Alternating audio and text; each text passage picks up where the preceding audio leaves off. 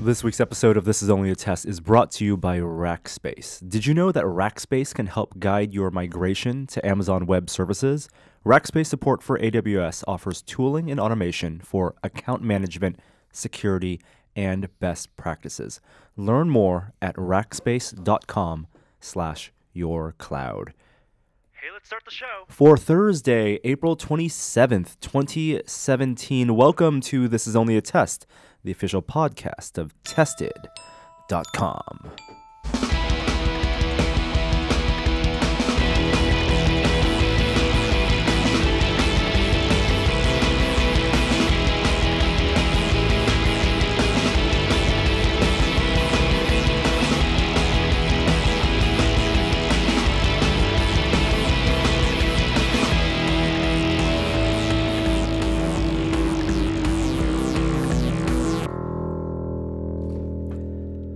Hello and welcome everyone to this week's episode. We are all back, back from the conventioning, a crazy month of events and marching and rallies and pop culture.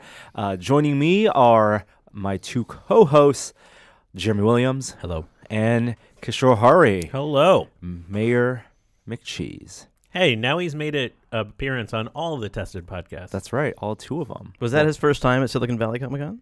Yes, that was Mayor's first time there. Wow. Um, I'm Norm of Course, and we are recording this actually on April 26th. So, Kishore, happy Alien Day. No, no. Uh-uh.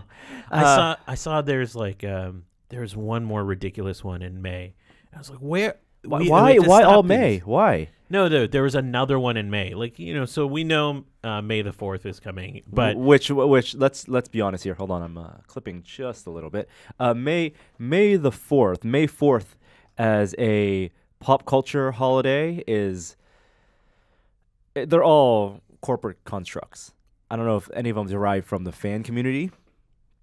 Uh, but they, whether or not they are, they belong to the they belong to the corporations now, and uh, in April, Fox has created 426, a tenuous connection because LV 426 was the planet in the first Alien film, and so April 26th is when they celebrate. Uh, and guess what? We are part of that celebration. Ha- we are. Happy what did we do? Day. Do we are we like hatching a xenomorph somewhere? What's it's going on? incubating all of us right now. you know Oh, that nice. coffee you drank yesterday? Oh Yeah. no! Oh, What am I supposed to do on Alien Day? Just look up or what? What am I doing? Well, it's just like what are you supposed to do on May, May 4th? Well, I don't know, but like Earth Day, you know, I I really make a concerted effort to put the compost in the compost bin. what am I supposed to do today?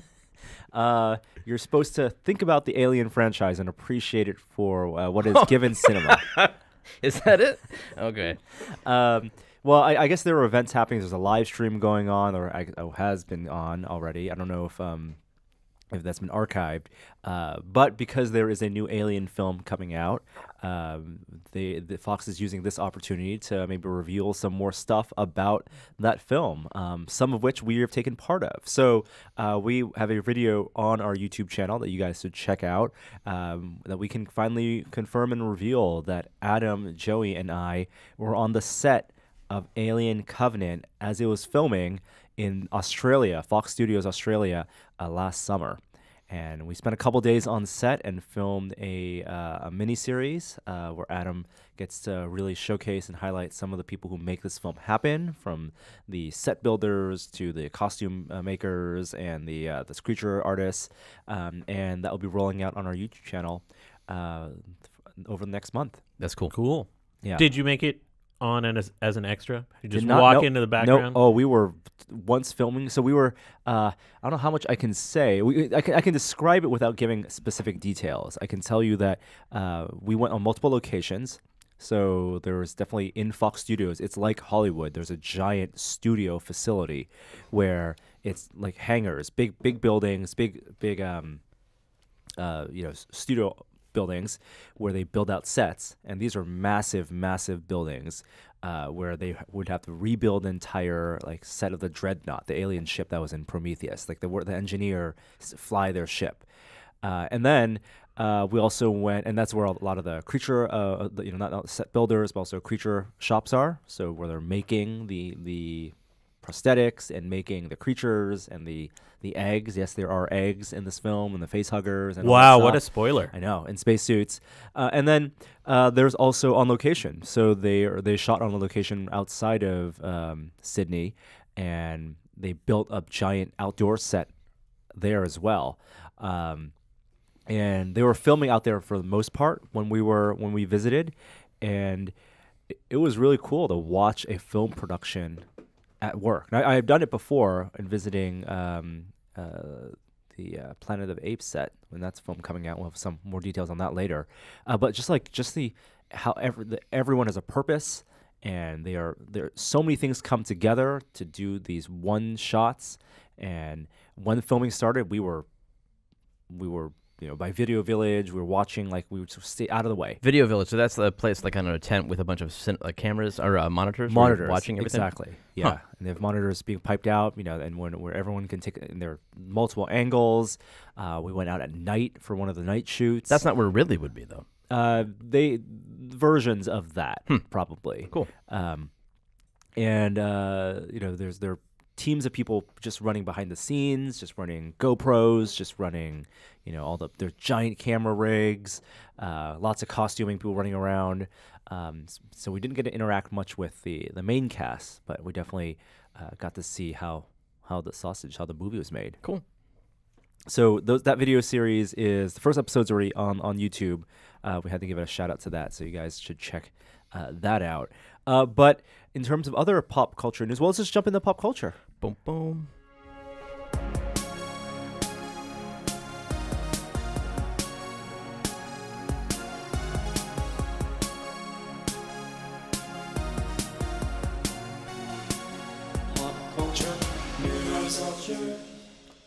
The most important thing that happened today actually was that I registered or attempted to register for our Comic Con hotels.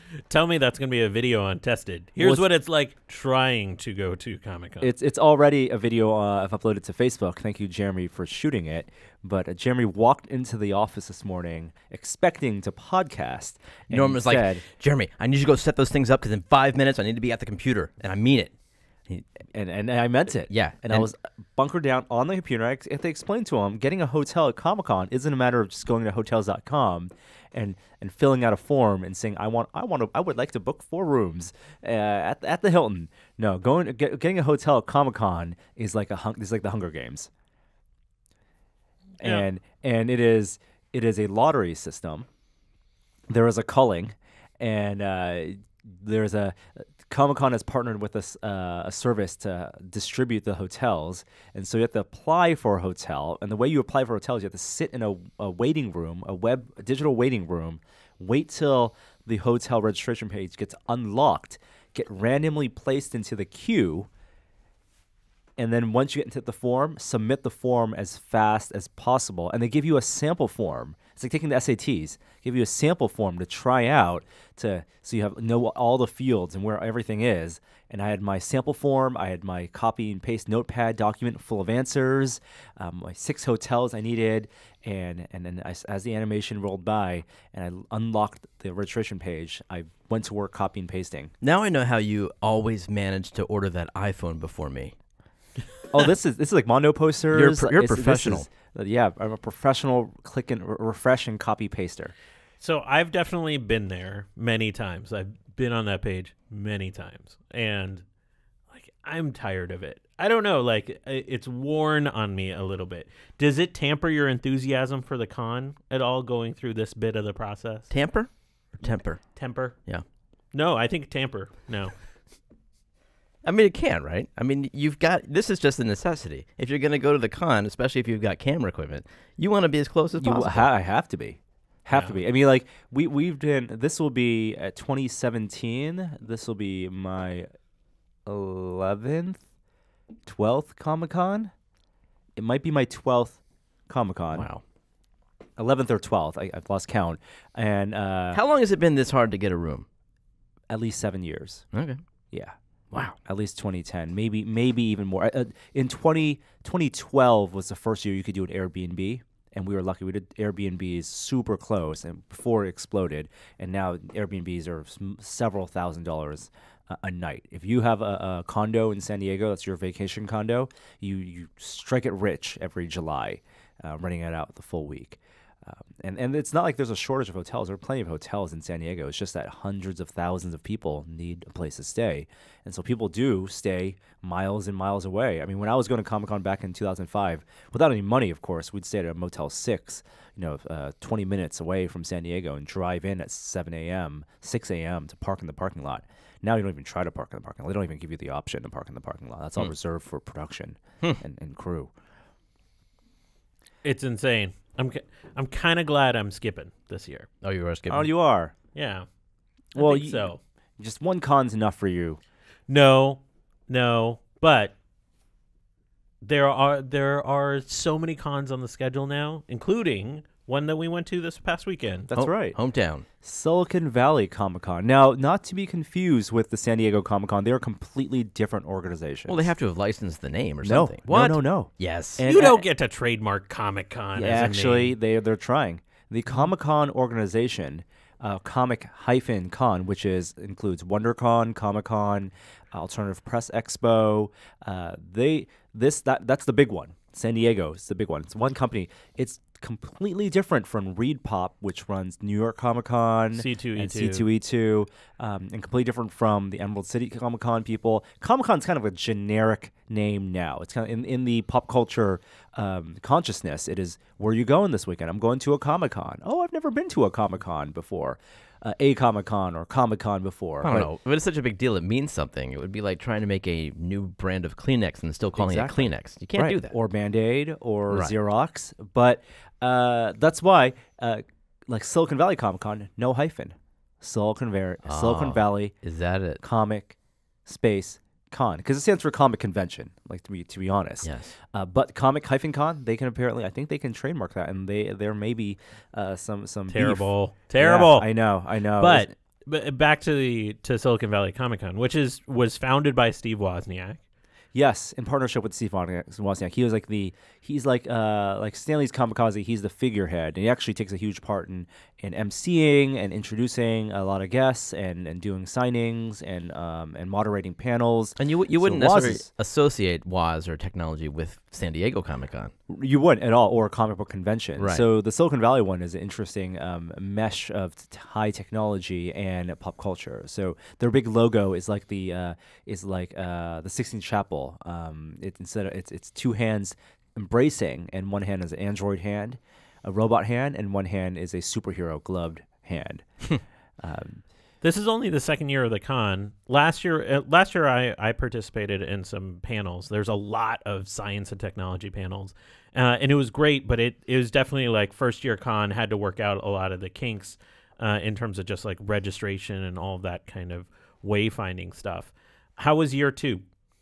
Uh, I actually didn't go to year one either. I was I was um I, I was in traveling. I was in China actually uh, last year when that when that happened. But this year, uh, it was it was good. So it still felt like my sense of scale for these conventions is absolutely skewed because of things like New York Comic Con and, and San Diego, which are kind of the, the big ones on East and West Coast. And so it felt a little smaller, a little more intimate the exhibit hall had some really cool stuff in there, but you know it's a little bit, uh, you know, the, the, the convention hall itself isn't as dressed out or decked out as it is at the other conventions. You know, movie studios and, and TV networks aren't paying millions of dollars to build out two-story, three-story booths here. Uh, there, there were big booths, and people did bring really cool things like a uh, puppeted Ed 209 and some you know Blade Runner cars and a, a papercraft K2SO sculpture, like some like some really cool stuff to definitely check out.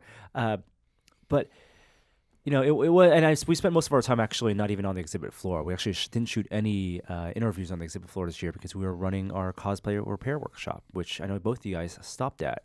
Now, for you, Jeremy, it was your first time at a pop culture convention, at Really? a comic I know. book convention. I know I'm late to the party. Have but you been to a Star Trek convention or a science fiction convention of any kind before then? No, no, no, no. I, I, and it's not that for lack of, of interest. I just, you know, I just haven't done it. Um, and I, but I was sitting around with my family, and I said, you know, we have an opportunity, uh, ten-year-old boy, son of mine, to go to visit this uh, San Diego Comic Con this weekend. Would you like to go? and we talked it over. And uh, despite his slight fear of crowds, we went and we had a good time. Uh, and I'm really glad that we did. What What do you think? Um, he thought it was he thought it was uh, you know huge for him. This was immense. I don't think he's ever been in a room with that many things in, or people in it before. But he really dug the costume. You know, the kid's just coming out of that dress up phase, so he's still got that Mm-hmm. little gleam in his eye. Uh, he he liked the costumes, as did I. And um, and what he- were either both of your expectations? well, I mean, we watched a video of last year, and so we, we kind of had a sense of what it would be. like Adam walking the floor, Yeah. doing incognito yeah, last so, year. so we you know, and, and we got to watch that live. We got to see Adam get dressed and prepared Mhm. live. yes. and then we went out on the floor and we just happened to see him there. That was exciting, but um, no, for for for for me, it was like I never understood how many of these people because when you see video and and retrospectives on the cons, you, it's all the costumes. So you figure like everybody's in costume. Right. Um, so I wanted to see exactly what that ratio was, and, and I was surprised how many it actually is. Like it actually is quite a lot of people It- in, in amazing costumes. Yeah, it was way more than last year. It was at least like triple or quadruple Oh, what it was last year. So it, it grew pretty significantly. But this is definitely not um, like cosplay con. Like Dragon Con feels like it has like a higher ratio of people. In oh, totally. costume. Dra- co- at Dragon Con, it would be you would feel out of place not wearing a costume Really? at Dragon Con. Yeah. Here, I think it's a good mix where you can feel Yeah. very comfortable in costume. You don't stand out, and there are definitely smaller cons where fewer people wear costumes, but then they're happy to because they they get a lot of attention and people take a lot of photos, uh, and everyone's super nice. Um, I, and I, there's a great sign when you walk in there that says cosplay is not consent. So it, you know, and then there's a text to explain that if you see somebody in a nice costume, don't just take their picture, ask their permission, and they have the, the right to say no. And there's a zero harassment policy. It's it's a good vibe, and and I got a really good feeling from that whole. It was fun experience. walking around this con this year because it's not so packed in like sardines like San Diego and some of the other ones. Yeah, they had You- big aisles. There's also a nice. The other thing I like, uh, and, and it depends venue to venue, is how big of a public space there is. San Jose Convention Center has a big outdoor area, has a big atrium lobby, has a big uh, two floors, and so ha- has lots of lobby space.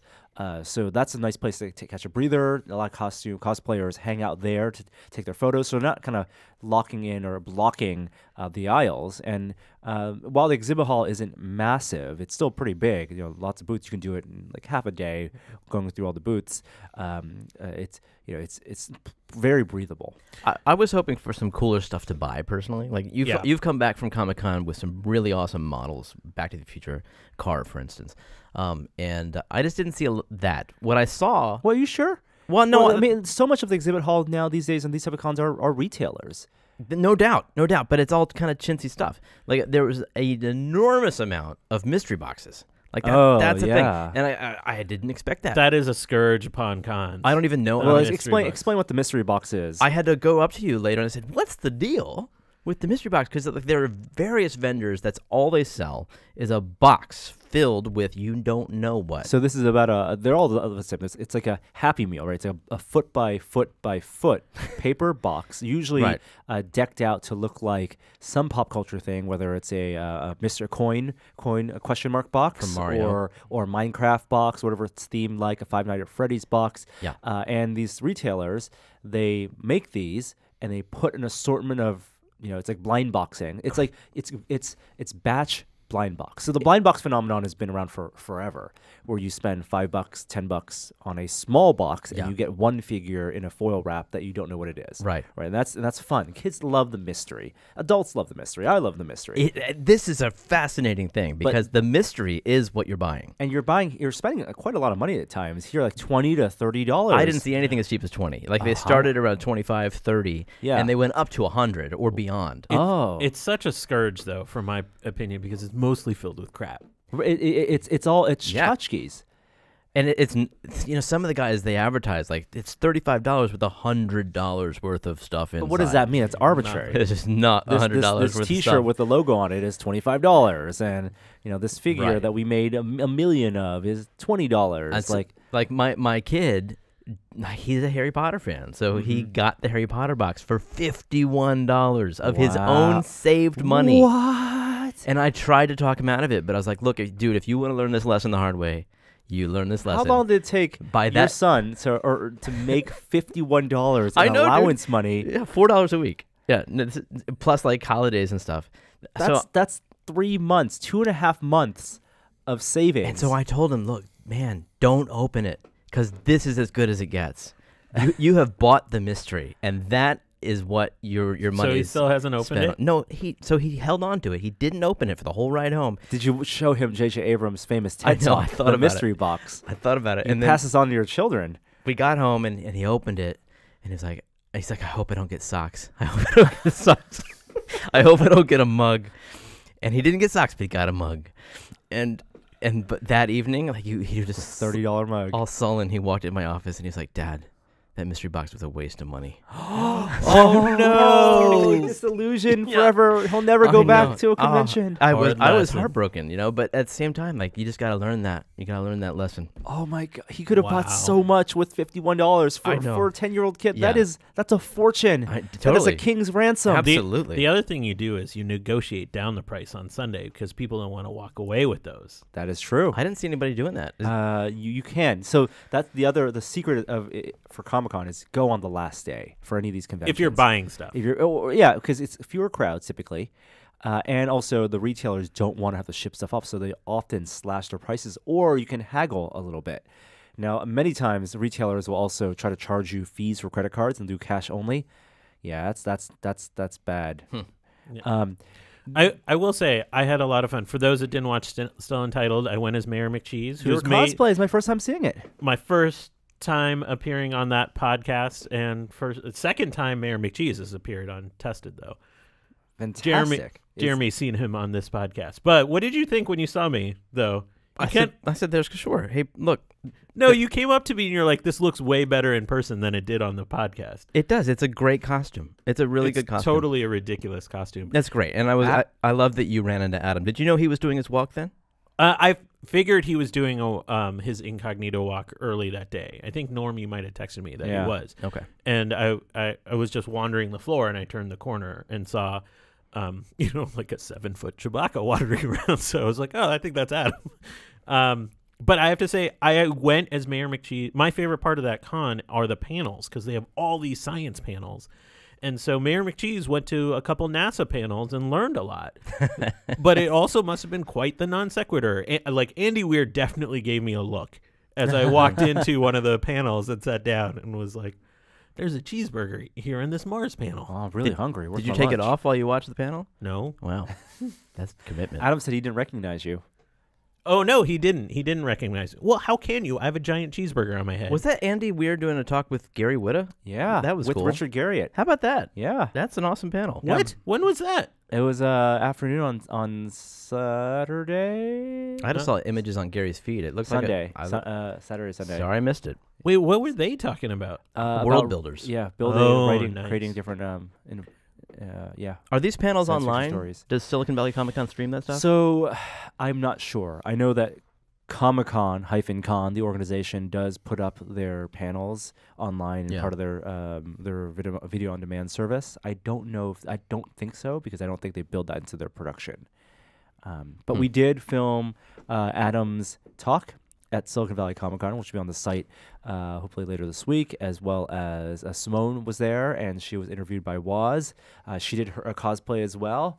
Uh, and there's some photos of that on, on Twitter. Dressed as a like a Mac SE or A something. Macintosh SE. Was she lit inside? She was. that was cool. Yeah. No, we have a whole build for that on our on Oh, our sweet. show. I wanna see yeah, that. Yeah, Exactly. It's very uh, astronaut helmet like. Jeremy, can I get a little bit of more um, monitor on my ears? Yeah. Um, so uh, did either of you pick up anything for yourselves at Silicon Valley Comic Con? I didn't. I'm always looking on the hunt for Thanos related merch, Mm-hmm. and it's coming close when it's gonna. It's just gonna be everywhere. Uh, and I was looking at a few of the. I always hunting certain collectibles, but there weren't that many collectible booths. Um, Mm. So I, I almost pulled the trigger on some art because my favorite part of cons are going to Artist Alley and getting some custom stuff done. But I didn't. I also didn't have very many pockets on Mayor McCheese. This is a problem. yeah, and carrying giant You bags. can make your whole head a big like trunk. um, I saw a cool artist uh, named Hearts for Hardware. You should, you know, he has a website. It's heartsforhardware.com, and he oil paints just classic game hardware. And so I was I was oh, that looks great. I was tempted to buy some of that. Like original art. Check out that 2600. I mean, it looks like a photo, and it's quite beautiful. And he has he had prints there, but he also sells the originals. And of course, they Ah. start at hundreds of dollars. But I will. Uh, I, I was tempted. Very cool. Um, Bluefin, uh, which is the U.S. distributor for Bandai products, Gundam, uh, as well as among other things, uh, they were there, and so uh, Jeremy, I believe you bought a Snap. Fit kit. Uh, yeah, because you guys you had one. Mhm. Was it the X-wing or Tie Fighter? Uh, we've built a couple um, now. Sean actually uh, found them last year. Uh, they were released along with Rogue One. Um, there's Force Awakens ones. Uh, I'm kind of th- like they're- launch with characters like a BB-8 and a C-3PO, and I wasn't a big fan of those. But Hmm. the ships, huge fan of the ships. Because you see them on display and you think, okay, this is going to cost hundreds of dollars because this is an insane amount of detail. But then Mm-hmm. you, you realize that they're snapped together kits just made from really tons, like hundreds of pieces of um, of injection molded plastic. Yes, And uh, so, given that, like they're actually much like less expensive. twenty to forty dollars. Right, and so I picked up the Millennium Falcon, and then, uh, it's probably going to take a few hours to build, and I'm going to wait because there's this guy in England that sells a light kit for it, Oh, you gotta let me know Wow. about that. but he's on he's on vacation, so I'm going to Okay. pick that up, and then I'm going to build it. I too, after you picked that, I picked up the Millennium Falcon. I actually uh, got a Y wing, a TIE interceptor, and coincidentally, when I got home that day, I forgot that I had ordered the AT-AT, um, and so that arrived. So I have four of them now that I got to make. So I got to warn you, what they have on display are painted ones that their expert modelers finished. Yeah. like drew in panel lines and and and then weathered a little bit. So we can walk through that whole process. But when you f- build it yourself, it won't look exactly like that. They still Yeah. look great, but you don't look exactly like what they had on display. Okay. Yeah. Well warned. Yes. Uh, and um, other highlights. Yeah, I, I mentioned there's a Papercraft um, K2SO. that was unbelievable. But how large was that? it was, it was life size. Life size, like six, seven, Seven feet. tall, and with a moving head and lights. What? and it was modeled and um, it, it, wa- it wasn't like a thing Thingiverse thing. He's, the artist modeled it. Uh, previous uh, last year, um, he had made a Iron Man life size as a, a s- it's a, a English artist. Um, I'm trying to dig, uh, Google his name right now. Um, he made an Iron Man one, and then this year Silicon Valley invited him back to do a a um, uh, Owen uh, Gildersleeve. Oh no, Tom Tom Forsyth is the name of the artist. It, was a collaboration. Um, Oh wow. and his K2SO. Ah, that's cool. Yeah, Tom. His website is Thomas Forsyth, F O R S Y T H dot co dot uk, and uh, it- it's it's just like it I doesn't. love it. Has that low poly. it- that's exactly it. It- he- That's cool. and which works well with the paper. Light light bi- bounces off the various panels really well, and the head rotated and and there's light. When it. I saw it from far away, you you can't tell it's papercraft. It's Yeah. only when you start to approach it, you're like, wait a minute. Mhm. Um, so it's just astounding. And I think there was an Iron Man on display next to yeah him that was also from papercraft, last year. Yep. which was pretty impressive Yeah. too. I don't think the files for these will be released. Um, it's probably keeping itself, but it would be fun to to build one of these. God. Wow. I guess that would be a lot of work. Uh, and um, w- right after Silicon Valley Comic Con this week, I mean, we're back into production. We're back in office. Adam is actually out in Vancouver because we have the TED conference going on. Yeah, I've heard just uh, phenomenal things about different sessions that are happening, but I just brought it up because there's one amazing short video that I saw, and that's uh, Big Dog from Boston Dy- Dynamics walking over Adam, like Yes. walking on Adam. Yes, I saw that. Uh, This I- is the dog that people push and he's Yeah. uprights. Uh, I, I believe they reached out privately and we got them connected. And after they did a, their presentation, um, yeah, they, There- they met up. I, I, I'm I wanna so know- jealous. I want to know the conversation was like, okay, so we have this robot and he's going to walk on you. And he's like- and Adam's like, yeah. Actually, that's probably exactly Yeah. how that conversation. What do you mean walk went. on? Like like that? cr- crawling on top, like no, that's a heavy robot. You can't walk on somebody. That would be too much. No, Right? it walked on his back. Really? Yeah. I'll put all its weight on Adam? Uh, I think it had probably two. not all its weight, two, two legs. Two legs. Wow. Yeah. Two legs at a time. Adam didn't look like he was in any distress. It smiles all the, the whole time. Yes. Wow. Uh, we should uh, fire through the rest of the pop culture news. Yeah, a couple bunch of movie news. Okay, we know Jurassic World 2 is coming out. It's not the director of Jurassic World 1. Uh, he is now directing episode 9. Uh, so, and that's Colin Trevorrow. Uh, Jurassic World 2 uh, is, but now uh, has a new cast member added. So, regardless of what you think, there. Jurassic World probably uh, wasn't the best. I I only saw it the, the once. Had no real interest in seeing it again. I actually didn't see it. oh, you didn't see it? It I'm with I'm with Norm. it made a ton of money. I- I- one of the things I really didn't like about it was uh, who the villain was. They they took a lot of things that we loved about the first film and just just it was a lot of a lot of fan service. Uh, but maybe this is another act of fan service. Jurassic World Two, Jeff Goldblum, he's back. Mhm. Yeah, I mean that's good. Wait, thing. It's he good got thing. eaten. He didn't get eaten. What are you talking about? Wasn't he That- in that was the a- toilet? That was a lawyer. Oh, Wait, wait, wait, wait, whoa, whoa, whoa, whoa! Do you need to leave, Kishore? I might need to leave. I can't remember. I mean, didn't Malcolm he, didn't he was the up- hero of Jurassic Park Two. I mean, Lost I, World. I remember him uploading the virus to the ship in Jurassic. Oh. Oh, different. now, now you're just trolling. Yeah, yeah, Jeff I- Goldblum. with Chris Pratt back. Is- Yes, Chris? Pratt Okay. and uh, um, Dice Prowse. Is uh, he Del- playing the same character? He must be. Oh yeah. He's got- I don't know. He's it could be be, like kind of a fun cameo, No, that nod kind of thing. Yeah, well, I mean, the fact that they made uh, B.D. Wong's character the villain in Jurassic World, I thought, I thought it was was a terrible decision. You know, but speaking of Independence Day, I did get to meet Data. You met Brent oh, Spiner? Brent Spiner. Yeah, Speaking yeah. of Independence Day. That was fun.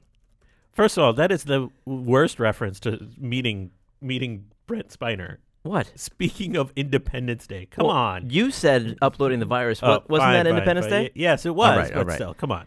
Now that was fun because my family, as you know, we've been watching the Star Trek Next Gen. Of course. So that was, update. and that he is our favorite character. We've all gotten had a family meeting and decided Brent Spiner is our favorite actor on the show, and uh, so meeting him was great. And sending that text, because my wife did not make it to Comic Con, sending that text of, of my son with Brent Spiner, worth every every every penny. Nice. Okay, That's awesome. back to your Lost World news.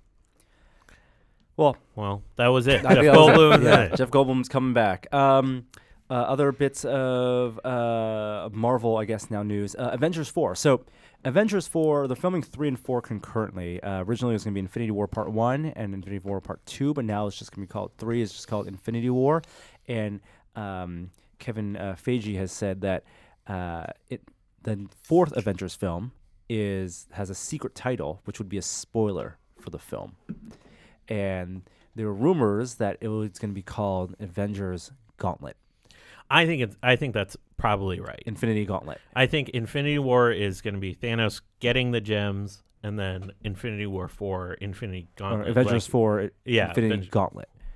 That feels like it's stretching out a whole lot of films. It feels very Hobbit like in terms of like this could have been just one film, but now I got to wait two years just to see the fight. Welcome to Kishore's Marvel speculation corner. Um, my feeling is that Very cozy here. he's going to get the gems, and in so doing, at least kill one member of the Avengers, and and kind of lead to their disbanding, where they have to go out and form the new Avengers. That's where like Captain Marvel and some of the other movies that are announced are going to come into play, and that sort of regroup is going to go take him on in Infinity Gauntlet. Hawkeye, there's gonna be a scene where Hawkeye looks at his bow and arrows. He goes, eh, "I'm probably not. I'm not up for this." Are any of the actors currently feeling a little Harrison Ford about being in the Avengers, where they're like, "Me first, me first, kill me first? I think we've heard that from Chris Evans uh, Okay. that he's he's sort of done um, doing this. He's just interested in getting behind the camera and taking on some other roles. I wouldn't be surprised if Robert Downey Jr. is like, I'm out. Like he's been doing this since what 08 now, Longer and, than anybody." I mean, and the he's not young, right? So yeah.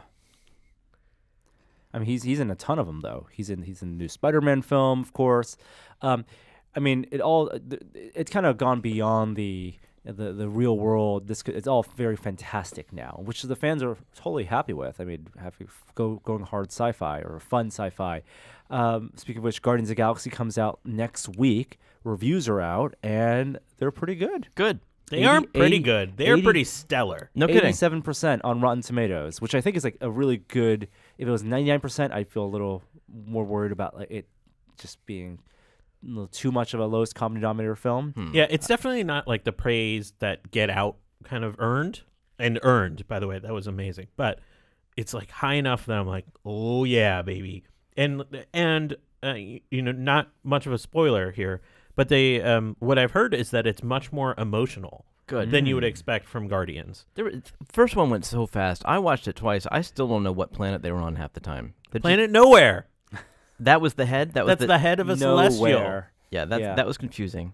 And then what? What planet is the collector on? What's that about?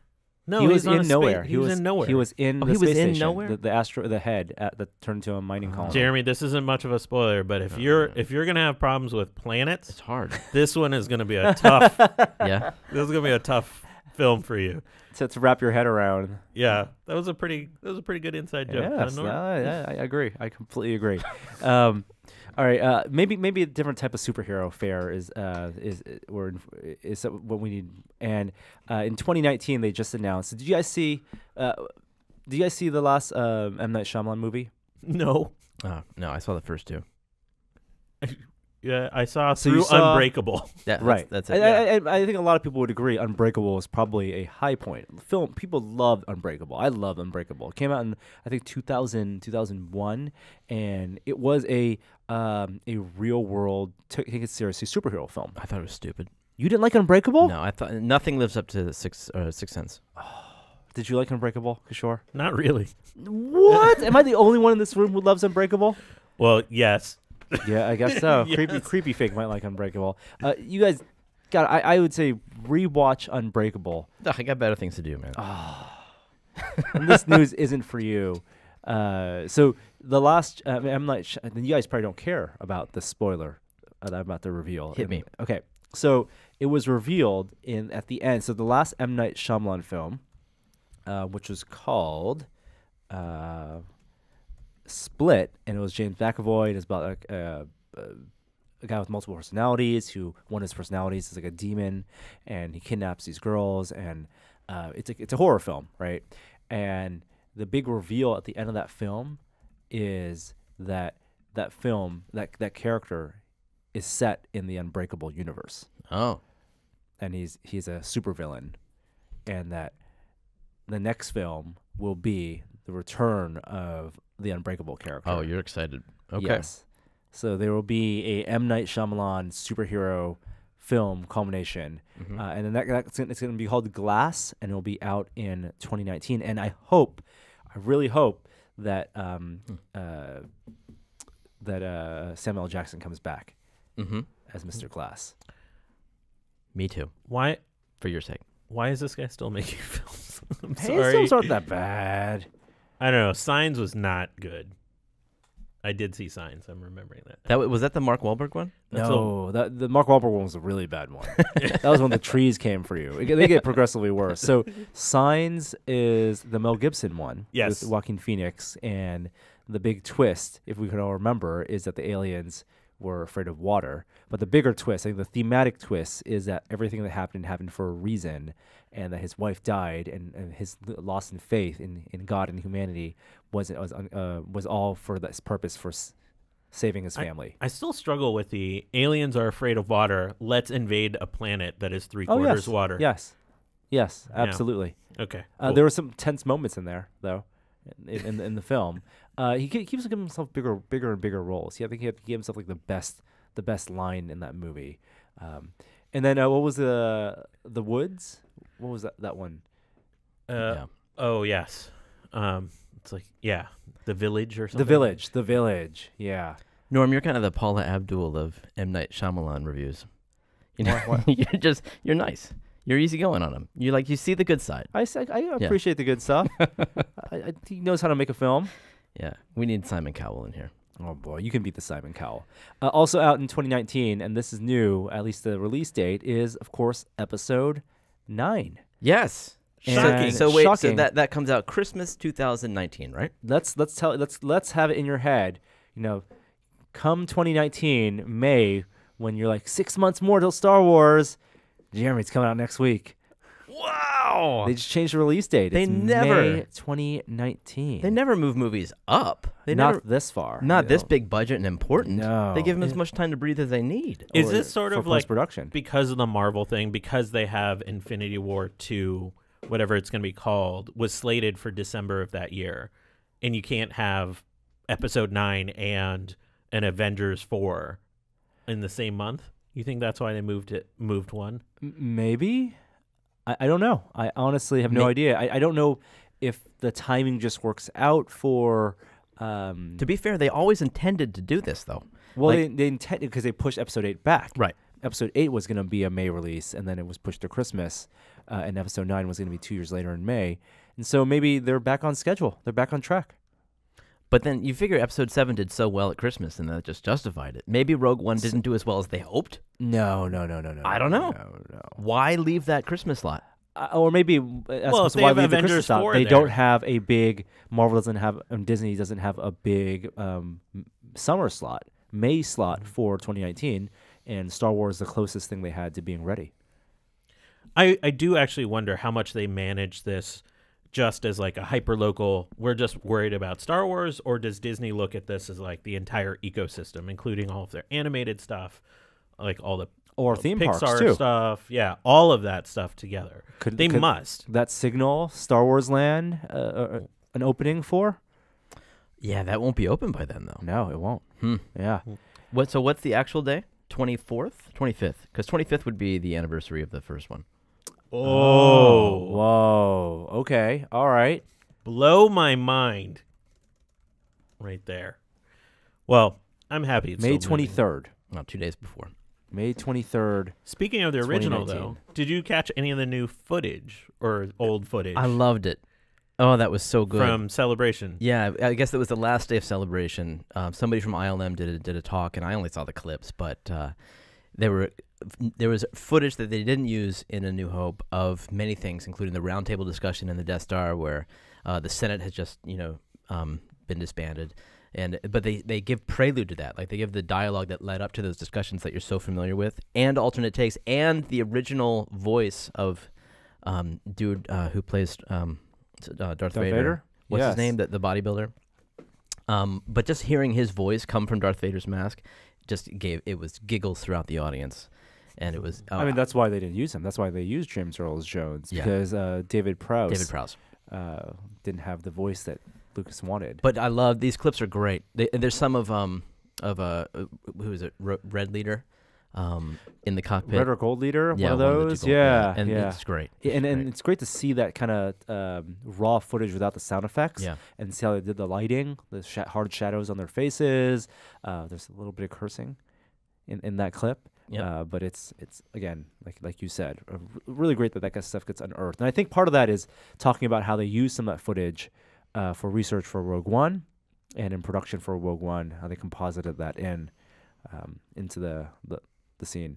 Um, last couple stuff. Uh, we talked a little bit about this last week, but this weekend is the premiere of American Gods uh, on Starz, the Neil Gaiman Gaiman uh, adaptation from his uh, very popular best-selling uh, novel. Sure, you've read the book. I have read the book. It's a kind of an interesting fall from grace type uh, Olympus uh, take on those on those gods in sort of modern times. It's it's a I think it's one of my favorite Neil Gaiman stories. Do you like it? like, I like Sandman so much. Uh, I mean, there's no question that Sandman is is like the quintessential Neil Gaiman. There's story. so many themes in American Gods that just feel like echoes of Sandman in terms of um, sure. the modern take on on mythology. Sure. I, I mean, but I, I guess I love Sandman so much, it, like I wanted more, and this was just you know feeding me more of that.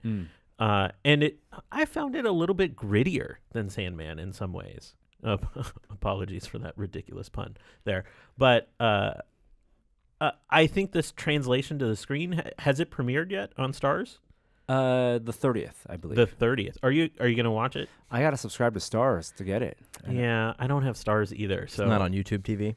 no. Nope, nope, nope, nope, nope. Uh, I think uh, the thing to do is if you haven't read the book, read the book first. It's a pretty breezy read. I mean, it, it it's not that long of a book. It's, It's a long audio book. Oh, It's really? like 19 hours. What? Oh, that's substantial. Ni- it's only a few hundred pages. no. Isn't America? And there are many versions of the book too. It says it's a full cast audiobook. That's the one to get. That's, cool. absolutely the one to get because it, it's 465 pages. Yeah, Oh, it's a yeah, few yeah. hundred pages. Yeah, you can you can get through that in a in a weekend, no problem. Um, and then one last thing, um, I saw the movie Colossal yesterday. What's that? Uh, it's in a Anne Hathaway film, and I want want to get the um, She's talented. I, I like her very much. Um, it's directed. So the interesting thing is directed by uh, Nacho Vigalondo. I'm pronouncing his name. Is Spanish filmmaker, uh, but he made the film Time Crimes in 2007. I know that film. What is yeah, that it's, a, it's a it's a paradox murder uh, mystery. Um, Sounds like something that's going to end up on RiffTrax. no, it's great. No. Time Crimes is a Time This is a Time s- Crimes is awesome. Really? this is that It's Spanish movie, right? Yeah, Spanish time loop film Oh, oh, this one is amazing. The bandages. with the right? bandages. Yes, the bandages. Oh my Yes. god. Yes. Yes. Is it? So it's in, in Spanish. It's yes, Wow. but you it totally. If you haven't seen, okay, Colossus in theater now. Theaters now. It doesn't actually doesn't matter which order you watch this in, but Time Crimes absolutely underappreciated and you should watch Dude, it as a time as a time travel as a paradoxical time travel movie. Um, watch that, and then because it's, it's like it's in the script writing. So he also wrote and directed this new film. It's a purely American film um, called uh, Colossal, right? And it is. Oh gosh, let me let me give you the spoiler-free description that you can hear in the trailer. Okay. Like the one, um, woman moves back to small t- hometown in America, and discovers that she uh, that uh, at the same time a giant kaiju appears in South Korea and starts destroying the city, and she discovers that her motions control the kaiju, Mm. that she is the kaiju, Mm-hmm. Yeah, that sounds like a good one. and that's that's the basic, very basic, basic premise without spoiling too much. Yeah, that's interesting. Do you ever feel like your emotions control other things? Because I do. I do sometimes. Like uh, it's a weird thing. But I, when I was a kid, I always thought, well, maybe, maybe if I feel a certain way, like it controls the way that you know people behave. el- Else. Never mind. I think this is a deeper conversation for def- the after definitely. podcast. Let's move on. Yeah.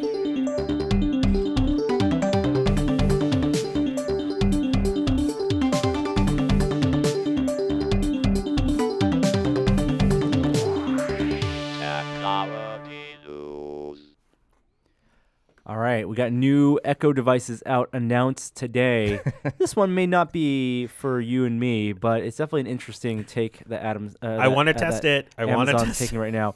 Uh, it's the Echo Look. It's the most expensive Echo. two hundred dollars. Yeah, So, uh, how is it different? Why is it so expensive? First of all, because it has a camera. it's a built-in camera. Now, why would the Amazon Alexa Echo need a camera? Why does Big Brother need a camera? Well, obviously to track what you're doing. yeah.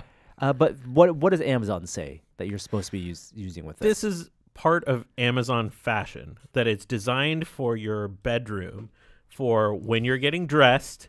You can take pictures and selfies of yourself in various outfits. It can be uploaded to the cloud. There's a machine learning interface to give you recommendations and style guides based on your looks. You can also record video so you can easily share your look to other platforms. I like this would this is different. Let's just say like I don't fit into the into the vertical that is interested in Eh, wait, wait, wait, in let- let- fashion. Let's go back and talk about exactly how you're supposed to use this. You have this installed theoretically in your bedroom or maybe your bathroom. Probably you don't want to put it in your bathroom. So No. let's say your bedroom next to your mirror, because you use a mirror, like a stand-up mirror. Who to- needs a mirror with an Amazon? What is it called? look. Am- Echo Look? There you go. So it has a depth sensing camera, so you can do uh, like blur out the background. iPhone 6s style iPhone stuff. s- Yeah. seven style, right? Seven plus style, Right. And um, but what do you s- you t- you t- you put on your clothes for the day? You Right. Put on your your makeup. You take the photo. Well, not necessarily. One mode is just to get just a camera feed, so you can turn around while looking at your phone and see what you look like from all angles. Wait, so you hold your phone, Yeah, and it's, it's like a It's monitor. a monitor for behind you. Yes. Oh, sure. Yeah, that's also called a mirror. Well, mirrors I- will solve that what I'm problem. saying. Who needs a mirror? With you, guys, you need a second Look. mirror. You need, you would need a second mirror Yes. to fulfill that. Uh, and then you take your selfie, or you get a full length picture, Mhm. and if you're not sure about your outfit for the day, and who's sure? Who's ever sure? that's, that's all you have. That's why you have a, a closet full of hoodies. I'm I'm still arguing about my outfit right now. so they use an a, an algorithm to Mhm. judge you. Yes. Well, What- no, no, no. what you, type of no, no, no, feedback do you get? You send two options. So you submit two options to them, and they say, based on current style trends, which one looks a little bit better? Whoa, whoa, whoa, whoa, whoa, whoa. You're, they're asking you to put on two full outfits and looks, take pictures, and wait for the machine, and the machine will make a judgment call right then and Yeah. say, "Go, we'll go with option Well, A." I- yeah. I mean, before we ridicule this, you know, too much, I do think there's probably a user base that's interested in this. It's just super, super narrow. I don't know. According to Amazon, it's a bunch of women with really expensive wardrobes. You know, based on the they put out a video ad, and it was uh, like all women. There's one guy in it, The one dude's about, he's in the video for about three frames. and I, don't- I just can't imagine this use case of like you have to have your phone with you for this to be useful. Well, that's, that's, that's not a problem. Everyone Yeah. has their phone. Everyone has their phone, but I mean, it's basically instead of putting on your clothes and looking at yourself in the mirror, Mhm. you now have to put on your clothes, look, Yeah. take a photo with your phone, Mhm. look Change at your the phone, option. and- And, and then also, I mean, Amazon's business of one gathering information about you and two selling you stuff, using that to sell you stuff. So now they know what you wear, what clothes you potentially have. They have, I bet they spend more of their processing, their database, deciphering what you wear and, and determining what the trends are. And they know your spending habits.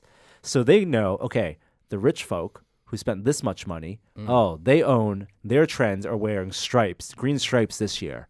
Well, now I'm going to go pass that information down to someone else who owns this Echo look and tells them rich people are buying green stripes this year. Here's a green stripe shirt that you can buy on Amazon and maybe have it delivered later Look, today. if- it's not going to help you right now in the moment that you have, if you're indecision, but maybe you want to wear that later. you know, I think that recommendation engine should could be good. I mean, we know there's a ton of subscription boxes for fashion right now that do reasonably well.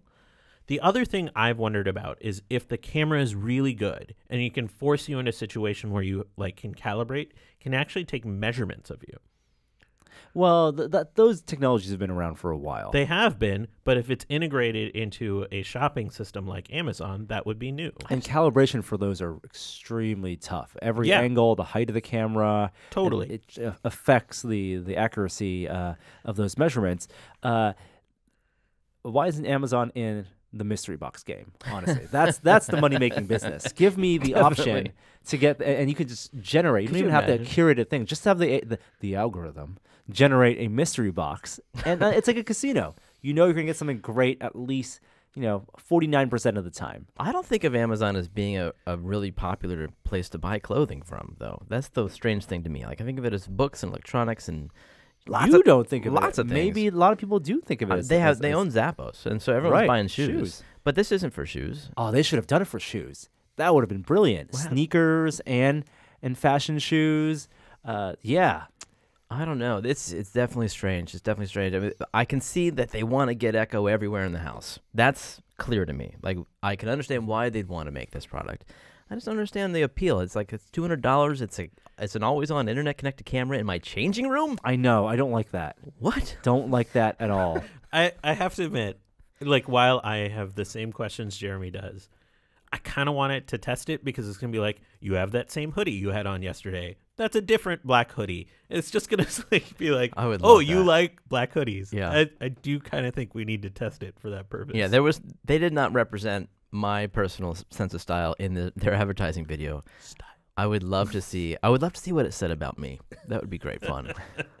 well, let's let's reach out there to any listener who may have an Echo look uh, and can Yeah. give us the Look, full report. so I don't want to spend two hundred dollars. no one's getting one on the panel here. No, I two don't hundred dollars. think No, thank you. Though I will, I will reserve a small part of me that says, okay, maybe, Good. Maybe All prove right. prove me wrong. Like maybe there are people out there that this is gonna be useful for. Hey, two hundred dollars. I can get half a Juicero.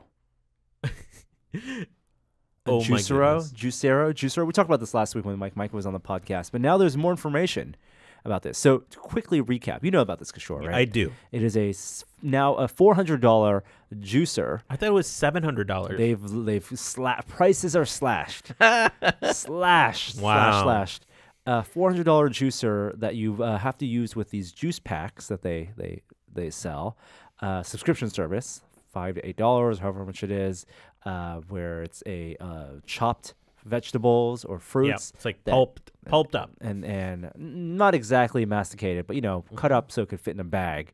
And then the juicer doesn't exactly masticate it either, but squeezes it so it's, you get your cold pressed juice. At, with a four hundred dollar machine, you can buy a bag that you can squeeze with your hands. That's the big controversy from that Bloomberg story. Well, the more interesting thing is Bl- uh, Bolt, Bolt.io, which is uh, run by uh, VC, Hardware VC, uh, took apart one of the general partners at Bolt took apart the Juicero and kind of dissected why this machine costs so much. And it's truly fascinating the engineering that goes into this machine. Oh, it The was it was- teardown was fascinating. It was in defense of the machine. it was in defense of the engineering of the machine. It- okay. It was I a, it was an explanation. It cou- it wasn't justifying the business model of the company or the idea of, of selling ju- juice packs. yeah. The fundamental business model of, of selling juice packs that people could squeeze that could also squeeze with their hands. Yeah. But it was defending why the machine was four hundred dollars. Yeah, And and from- I think it was more curiosity of how could this be, and because it's very critical of like the I can't believe they did it this way. Yeah. At the at the very end, hmm. Right. but it definitely says like this is why this thing costs so much. And it wasn't because they, but, but uh, it's Wi-Fi enabled. Like that's that's the joke is that you know they put a Wi-Fi chip in there. Now it's a smart juicer. That's why it's four hundred dollars. It's because it took a lot of engineering. There are a lot of custom parts, um, machine parts, injection molded parts, uh, to get it to that form factor so that they could press and apply a lot of force on these bags evenly across that surface area because of the design of their bags. Frankly, Yeah, it basically shows that it has all of these custom aluminum parts that were sort of like very precisely machined. Yeah, he said that of the hundreds of consumer products he's taken apart over the years, this is easily among the top 5% in complexity. And um, astounding that a startup for their first hardware device could manufacture this machine. So he was impressed. There was, it was definitely impressive. Um, But also over engineered. way over engineered, which is the, the necessary part. Yeah, and um, the other thing, like the the drivetrain that that drives this, had like all of these like gear spin downs, so it like really maximized torque. Like this thing can really squeeze some stuff. Yeah, I'm curious whether it could be repurposed to do anything else, though. Yeah. Fair. Right? Um, I mean, the custom motors, uh, just mechanisms, just for the latch, the handled latch part, like the the the painstakingly machine custom parts. That's that you know cost when you say four dollars a piece. That's a lot for manufacturing Yeah. when you add up hundreds of piece components that go into a machine. Um, it was just like it, it's like the the designers, industrial designers and engineers got ahead of themselves, and were so enamored with making a beautifully machined and engineered product that they didn't think about whether people needed this product at all. The I mean, the real problem beyond the need pro- a problem, there's like a science and engineering problem here too. Basically, this machine is taking a big aluminum plate and squashing something flat with like a, a uh, with torque, just applying even pressure across.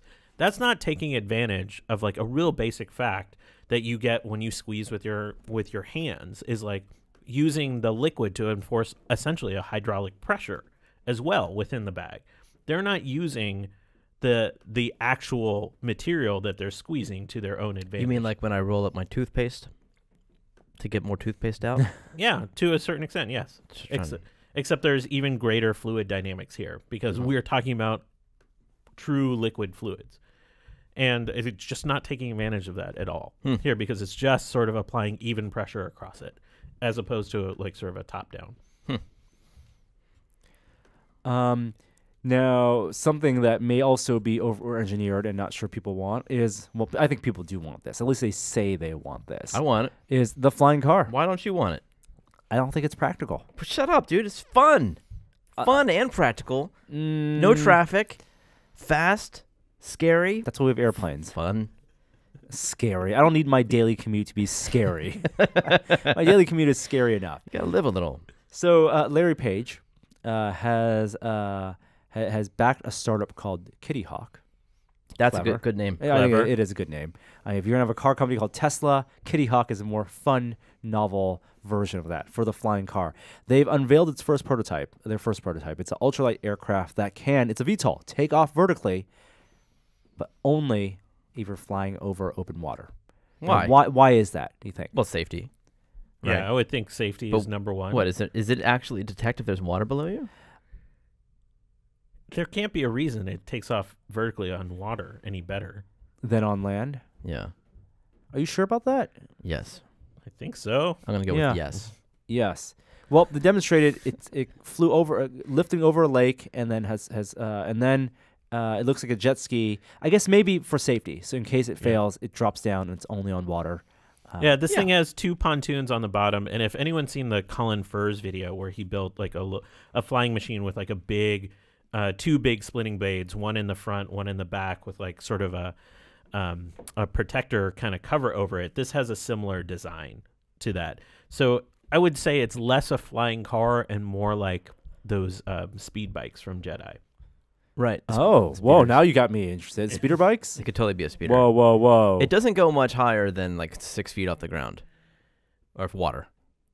At least I, the, in the demo they didn't do yeah, that. this is not for flying above skyscrapers, but it will be for sale later this year. Is this Larry Page flying it?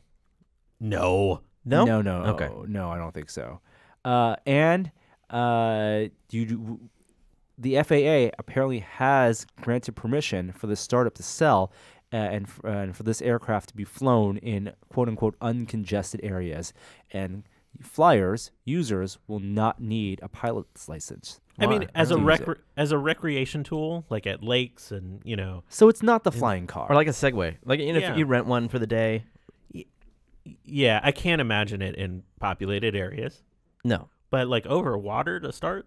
Yeah. sounds like fun. I would do that. See, now you're talking. Just like the jetpack over water. I'd That- do th- do that too.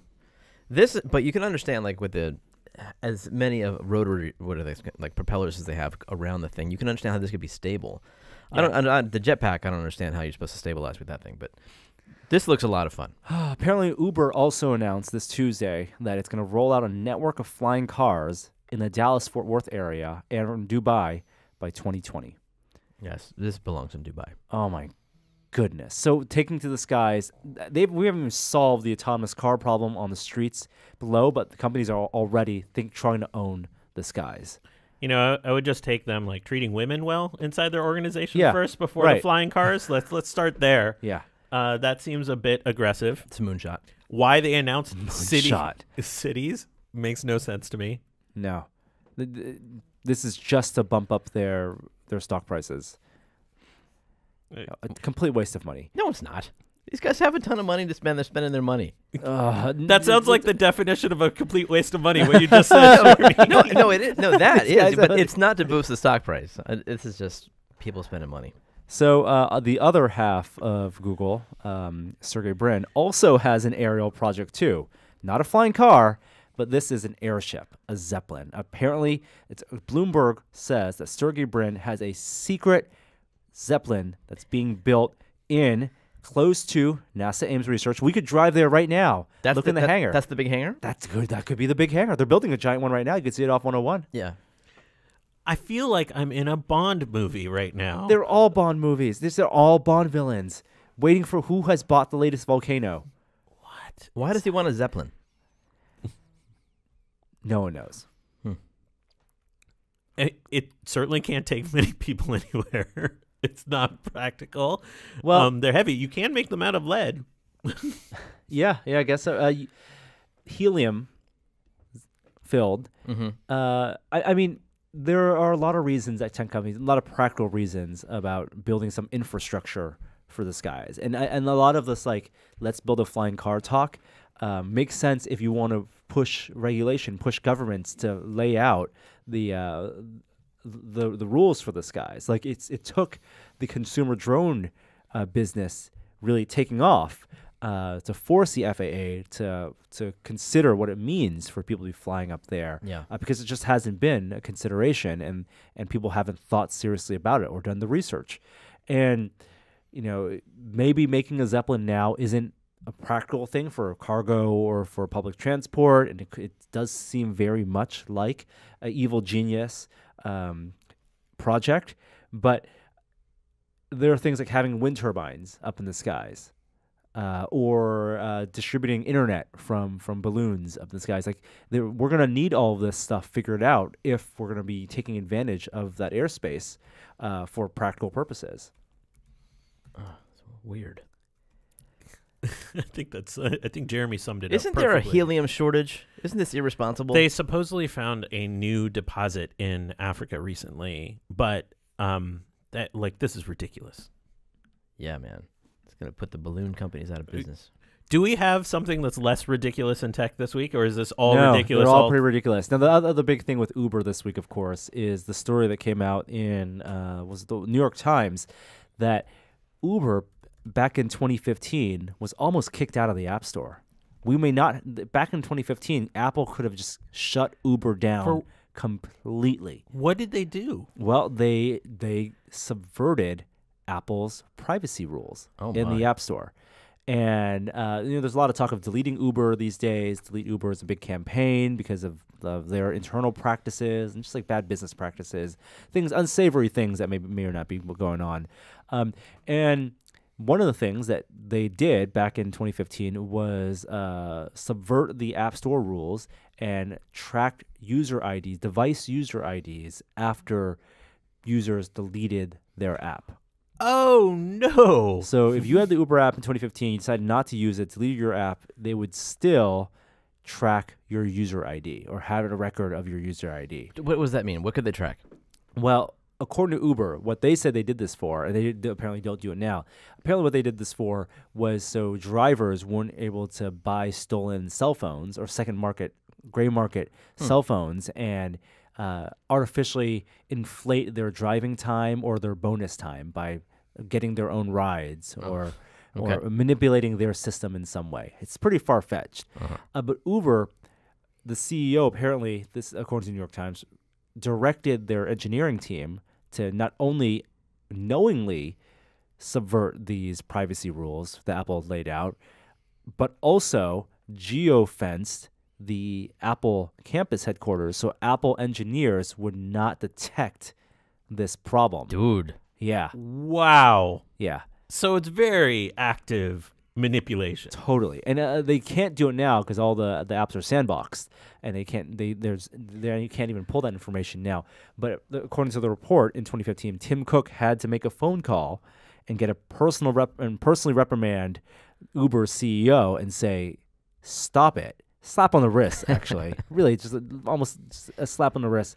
Uh, stop it, or we'll take you off of the App Store. They should have just taken them, They should have taken him off. taken them off the App Store. wow. Uh, if this was Google, they would have been off the App Store. Yeah, it would have been it would have been thermonuclear war. And this is that is awful. It is brazen. Um, I know. Um, I think that's actually all. Oh, you know what? One last bit of uh, technology news I do want to talk about. Have you seen this voice synthesis program? It's called Lyrebird. L Y R E. Lyrebird. No.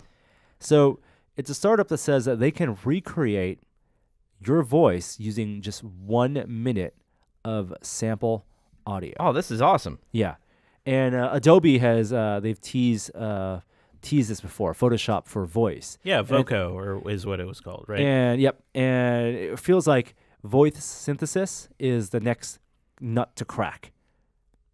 this freaks me out a little bit. Oh, absolutely. Like there's so many things you can't trust now, and with voice, it's gonna make robocallers that much better. Wow. Um, Well, it's gonna make. Have you listened to any of these samples? They're not that great. Are these are Oh. these samples of the actual computer? Yeah, why don't we Yes, play a sample? Alright. You can unmute. I can speak with so many different voices. Yeah, I'm not worried I about being I can fooled. speak with so many different voices. I can speak with so many. Dude, this is one step away from from Hawking. This is not convincing. It's not convincing yet, but th- we're gonna get there. Yeah. By the way, you guys ride BART?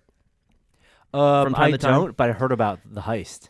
Oh, I don't know about the heist. All right, no, tell me your thi- BART This story was just so I just realized that if you're headed um e- like inbound towards the city f- from the south, BART the, is our public transit system. the for those that voice don't live here. announcing the trains is male. It's like a male Stephen Hawking, and if you're headed outbound, it's a female Stephen Hawking. Ah. This is a little life hack that I just figured out. There you go. That's all I have to say. What was the what? there was a BART heist. Yeah, so apparently this this Saturday night, as we were all in San Jose, uh, apparently dozens of juveniles raided a BART station, commandeered one train car, and forced passengers to hand over bags and cell phones, and injured two people. Saturday night, Juveniles. forty to sixty juveniles What? flooded the station, jumped the fare gates, and rushed onto the train platform, held the doors open, took over an entire train, and held and, and robbed everyone on that train. But then they're stuck down there. And and then they held the door open and then and then Ran out of the station. The cops couldn't get there in time? Yeah, Wow. seven people were robbed, losing a purse, duffel bag, five phones, um, and some people were even robbed on, on the platform. Well, that's wild. Yeah. Do they and do they have any idea what group this was? No, Fo- 40 the robbery to 60 it people. took less than five minutes, and the ro- and some of the robberies took just seconds. 40 to 60 people though. Some some That's a- somebody's going to get that's caught. There's too many people crazy. there. Were- they were armed? Uh, I don't know if they were armed, Wow. and they're not sharing images because it looks like they they were minors. Ooh. Who that- did this? That's their loophole. Yeah, Huh. The other thing that was found out a few months ago, there's cameras in those in those cars, in those train cars. And what they found out in a sting operation is oftentimes they were just blinking lights. There was no camera inside. Those that camera- happens a lot of places. Yeah. deterrence. No, It's just don't, visual don't say that. Don't say we don't want to say that on the out in the public. This is a podcast of the truth. All blinking lights are cameras. Do not steal. Speaking of theft, Grand Theft Auto 5 is Very nice. online is releasing a new uh, mode, which may be out by now. But it's it's re- super cool. Now I haven't played Grand Theft Auto 5 since I beat the single player mo- mission, but this makes me want to go back in there. It's a top-down racing mode where it looks like Grand Theft Auto 1 and 2. Do you remember these games? yeah. Like, you know, old school. They throw the camera up in the sky and you you race through uh, these brand new stunt tracks, top down, with all the GTA 5 physics. It sounds like a blast. That This is sounds fun. This is a really good idea. Well done, Rockstar. Any more news? I think that's it for uh, technology news. Now, before we move on to our next segment, I do want to also thank these again the sponsor of this week's episode, and that is Rackspace. Did you know that Rackspace can help guide your migration to Amazon Web Services? With hundreds of innovations each year on AWS Cloud, many companies are seeking assistance from certified experts to meet their business outcomes. Whether you're planning to move or already use to AWS, Rackspace fame fa- uh, fanatical support for AWS is the answer for businesses facing these challenges. Rackspace has deep expertise and experience in public cloud transformation with more than 770 AWS certifications and counting. They're a premier consulting partner certified in AWS DevOps as well as AWS marketing and commerce. They also provide tooling and automation for account management, permissions, security, and best practices. Control your cloud costs and sleep at, well at night knowing Rackspace will monitor your AWS 24 7, 365 days a year. Learn more at rackspace.com slash your cloud.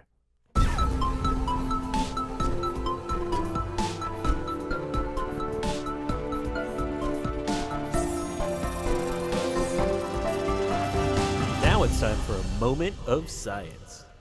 Uh, so I think there was a pretty big science happening this past Saturday. Big science.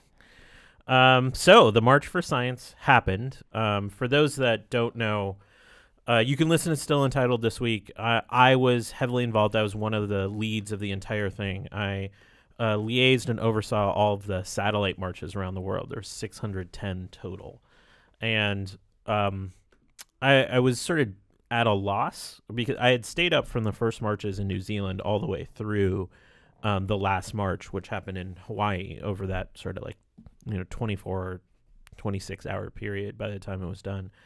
And um I, like it, it was just so humbling to see marches around the world and people were marching for really really different reasons. Um and the and the reactions both been there's a lot of goodwill. Like no one saw this coming a few months ago and for it to go from nothing like a social somebody started a twitter account is how this whole thing started um, to hundreds of thousands, if not millions, of people around the world marching is, is pretty remarkable. Um, and it was like there was all sorts of parts of the process that were kind of messed up, and like it wasn't perfect by any stretch of the imagination. Uh, but I'm left very hopeful that there is this generation of of people that have blurred the line that, um, uh, or at least dispensed of the notion that science isn't political because it has been since the time of Galileo, and that it's okay to stand up and, and make your voice heard on this, um, uh, especially on some critical topics like the fact that our current president doesn't have a science advisor, and every president going back to Eisenhower's had a science advisor. So it's weird, a little weird that we don't have that conversation happening. Um, And there's a difference between science being uh, not political and being nonpartisan. Yeah, I mean, this is uh, to me like the the reason I one of the reasons I joined is that it was designed to be nonpartisan, meaning that the the march organizers were going to advertise um, a a march that wasn't about campaigning or rallying for any particular candidate or party. Uh, that doesn't mean people didn't take policy stances, um, but it it does mean that it was uh, meant to be inclusive of, of voices from around the uh, around the world. Uh, I think by the time this airs, we'll have Adams talk from the San Francisco March uh, online, where he gave a sort of a beau- beautiful gesture. I'll just say, like, um, uh, I, I mentioned this on Still Untitled, but I brought my dad on stage um, at the San Francisco March to talk about how we, um, you know, immigrated to this country and and that his um, acceptance to a science program was uh, was the reason that I can exist here, and, and one of the reasons our, our family has, has succeeded here. And uh, to have him up there with me, um, it, meant everything uh, to me, uh, especially in the context of talking about uh, keeping our, our borders open for the good of, of science, because science is better uh, when we bring in those voices from abroad. It's been the engine of good science in this country for decades now. I feel like the, the march came out of. Uh, well, it seemed to me like, from my point of view, that the idea from it came out of the women's march. You saw the success of that, and then you said, oh, "Let's keep this momentum going. Let's stand up for something else." And it, and it was the voice of you know, science should matter to everybody. Yeah, and there was definitely afterglow from the women's march Right. that I think gave license to more people getting out and doing this. Um, but I, I would say the the critical point that that did this, uh, at least for many of the scientists I knew, they felt this sort of malaise that there's been this erosion of of trust in science and and a feeling of just anti-intellectualism, like an, uh, a bias growing in the population of where they um, get information. Why is that? Why do you think that that exists? Is that in pursuit of money? Is that because science is at odds with making as, as many dollars as possible? I mean, I, I think there's there's definitely um, uh, forces that are looking at monetizing this, but it's also a consequence of just modern times where we do get siloed. We get into echo chambers, and and confirmation bias is like a is just a huge factor once you're in those silos, and good science really tries to tries to not perfect at it really eliminate that and get past those barriers but if you live in a world where all the people around you that you trust all the like your your family members your um uh, you know your your teachers your like everyone that you interact with online is saying global warming is a hoax. You're going to probably start to believe that. And it's not that they're presenting data that you're analyzing. It's that it's that the that's how we get our information oftentimes. So how do you keep the message of the march from getting partisan? I mean, how do you keep people from, say, people You- who who believe that global warming warming is a hoax? Mhm. How do you keep them from feeling defensive? How do you get them included in the conversation? I, I think this was less about you know people that that don't feel um, uh, that that feel that have views in opposition in science. This was about rallying the people that feel like science is an important value to them and activating them to do more. This is like a step to really have a, a surge, if you will, because we've never done anything like this before. Um, you know, the only um, equivalent that we could you know find in history was there was a 1970s march of farmers on Washington D.C. where they pulled up their like tractors. Like never had an occupation do something like this. Um, and so it's really about creating solidarity first. And then once we have that, now we can start to take actions together because now we have these millions of voices around the world. you don't feel like it, the march itself was a, trying to send a message? I think it is. It's a huge public statement. But I don't think it was a public statement to be like, now you're going to change your mind if you don't believe global warming is real. That like a march can't do that. Right. A march is like activating the people that in their local communities are going to become more advocates for science. Was did you did you um did you like the interpretation of the that the media had of the marches? I mean, who's ever happy with a media interpretation of something? Well, that what did you do? find was the angles that the media took? I think um, there was a lot uh, pressed on the conflict, both from like old guard scientists who felt like science is apolitical, let the science speak for the science self. I think there was a lot of conversation about how there were, there was voices that wanted the the science march to represent um, uh, where science needs to go by being more inclusive and more diverse, and the conflict that arose from those. Uh, and I think that got a lot of coverage. Um, what I wanted to see more coverage of is what this look uh, look like in local communities because it was focused on DC naturally, naturally, and and the big cities. But there's a town in Michigan where you know 500 to 600 people marched. The population's only 4,500 people. Like that, they don't have science events. They can't. They don't have a big university research center. Like what is that means something? Yeah. there, um, and I think it can mean something for years to come. Uh, the march on DC, I don't think any politician really took that much note to what happened. It was another thing that was happening. Were they the largest group? I think the DC march is probably the largest in the world. Um, but like Chicago had 60,000 people. San Yeah. Francisco was close to 50,000. Minneapolis had 40 some thousand people. So there was large marches everywhere. But I think the story is going to be told in these small communities. Oftentimes that I had never heard of these cities. That's how small they were. Like Alexandria, Minnesota, which is like, you know, an hour from the Canadian border, had a march of a few hundred people, again, in a town of 10,000. So though those are the places where I think any actionable impact will, will be reflected. And I think that's where it's most important because that's where science has done the worst job of, of reaching out to. Well, in those smaller places where maybe not a ton of people were able to organize or they felt disconnected from what was going on, it happens all the time. Where can people find like is videos or other places archive where they can get energized by the things that happened on Saturday? So at um, a lot of that's being collected and aggregated and it'll be on marchforscience.com. There's a week of action taking place right now in different pillars like science education and communication, um, outreach, advocacy that are happening every day going through Saturday. Um, so there's actions that you can take. I still think the most important thing is on that hyper local level. Like those people, like if you went marching, those people that you met, those people that you marched with, whether it be teachers, farmers, scientists themselves, um, staying connected to those forces and coming up with a plan on the local of local levels. That's how you're going to affect change. You had talked a while ago about scientists getting more politically involved, Mm-hmm. uh, running for office. Yeah. It was was the is this is all kind of a part of that same energy, isn't it? It's just being Yeah. involved. Yeah, I mean, there's a really famous uh, fly biologist, uh, Mike Eisen, who um, is running a Senate bid right now in California to unseat Dianne Feinstein.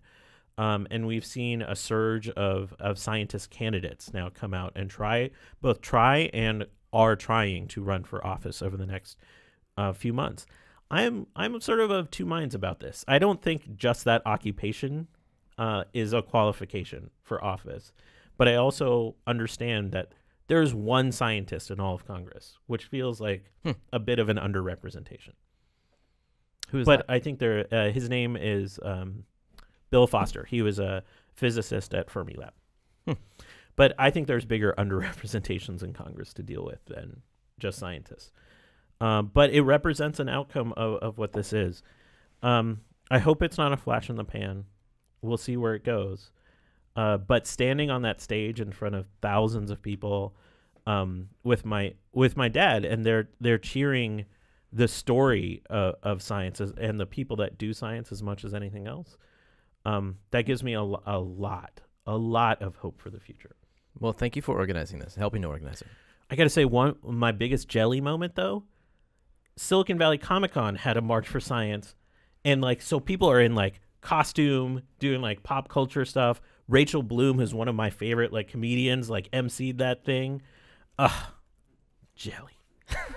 you can't be everywhere at once.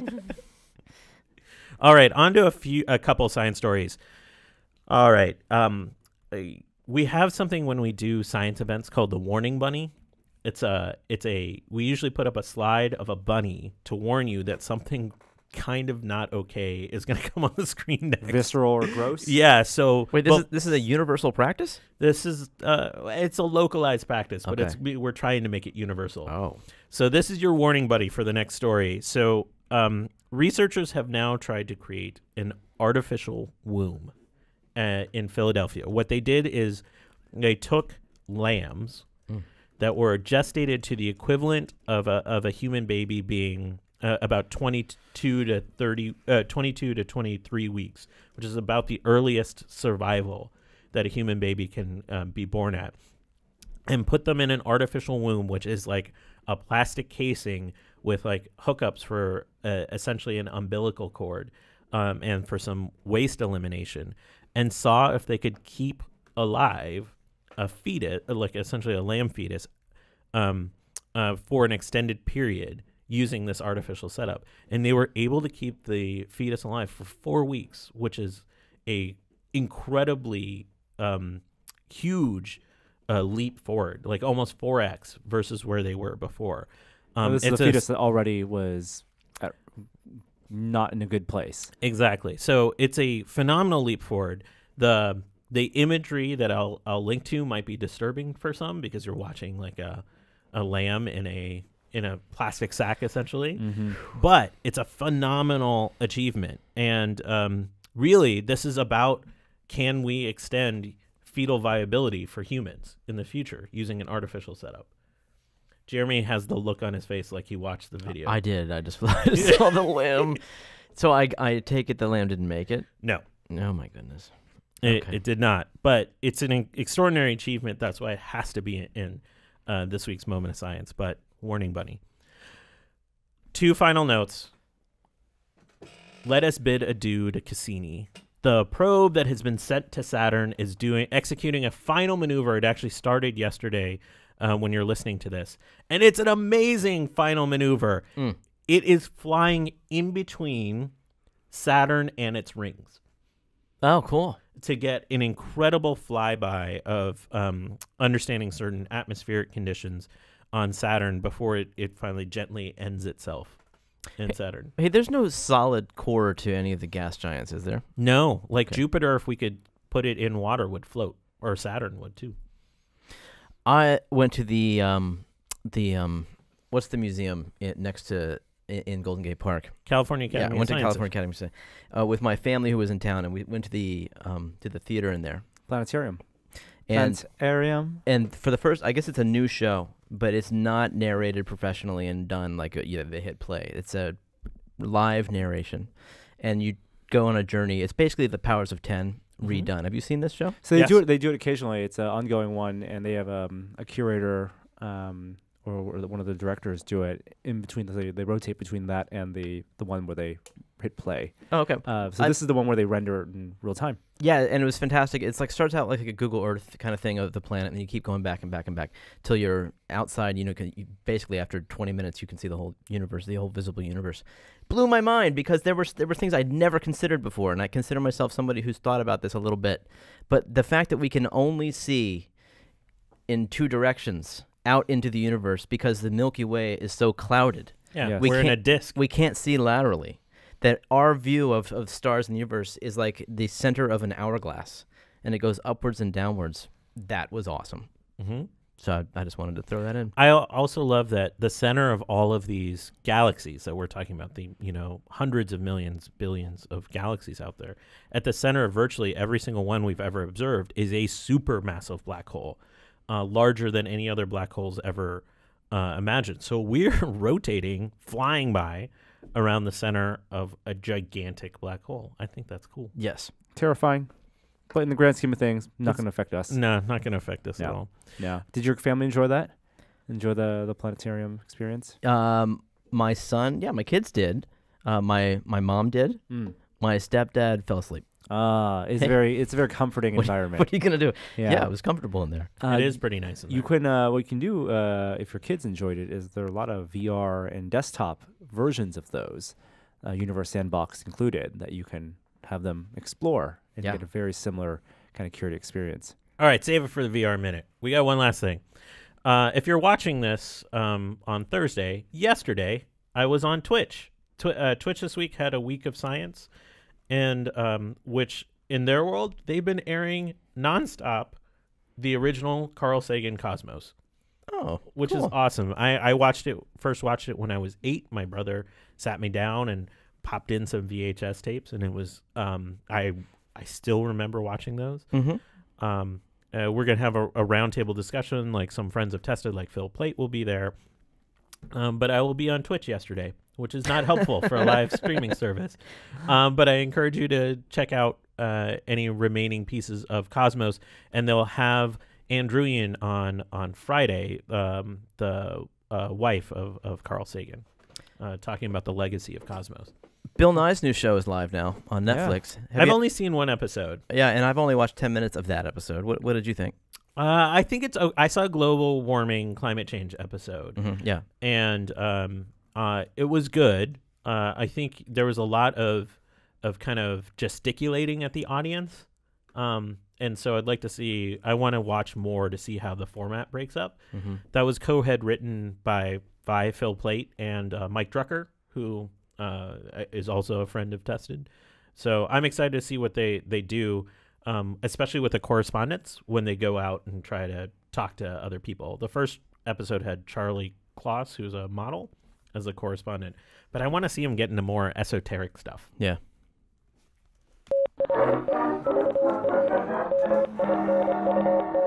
The VR Minute. Virtual reality this week. All right, not a ton of VR to talk about this week. It's couple new releases on the Oculus platform. The big release is, of course, Wilson's Heart came out this Wednesday. It goes. This is their uh, once a month big AAA title on the Oculus platform. Uh, Jeremy and I we haven't played the full game yet, but we did play uh, a couple hours of it in our hands-on time um, over a month ago now. Um, but this is a story-driven uh, VR experience. Black Uh, and white Black game. and white, Twilight Zone inspired, supernatural. Um, I gotta- heard it's about ten hours. 10 hours Uh. uh, and that's what i'm curious about whether how much that 10 hours is puzzle solving how much of it is going back and forth retreading how much of it is frankly just there's a little bit of loading time between jumping uh, between environments And how much of that is Uh, just being scared, yeah, not right. to, not to keep go as fast as you can. yeah because it's, it's about tension Yeah. it's, it's a game that wants they want to keep you in that environment um, and you're not freely moving around so you're just jumping from node to node kind of solving puzzles you know, and connecting those nodes together with, with between the objects that you pick up from one place to another um, can't wait to play it. Uh, in the same vein, uh, Arkham VR, which was released as a PSVR exclusive, is now also on the Oculus platform. Mon- Very similar game, actually Oh, uh, to, to Wilson's Heart in terms that it's, it's a story-driven puzzle, Puzzle game, solver. puzzle solver where you jump from place to place. Yeah. Uh, but and every time you jump to a different location, every one of their uh, the environments is a different type of puzzle. I thought that was interesting about the Arkham VR. Is that it's it, there's not a whole lot of replayability to that game, but it's like they had several different VR experiments and they found a way to tie them all into one game. Mm-hmm. That's an interesting game.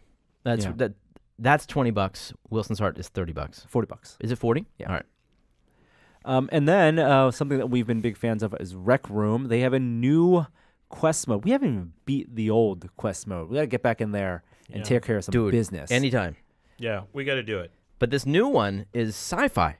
It's like you, they, uh, they had a whole texture set, all the models for the for the classical fantasy. yeah. I would have been happy with another one of those. right. But they decided to go in a whole new direction, and they made a sci-fi thing with laser guns.